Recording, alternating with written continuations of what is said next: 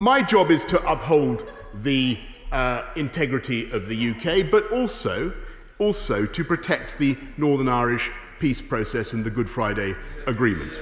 And, and to do that, we need a, a, a legal safety net to uh, protect our country against extreme or irrational interpretations of the protocol, which could lead to a border down uh, the Irish Sea in a way that I believe, and I think members around the House believe, would be prejudicial to the interests of the Good Friday Agreement and prejudicial to the interests of peace in our country. And that has to be our priority. Yeah.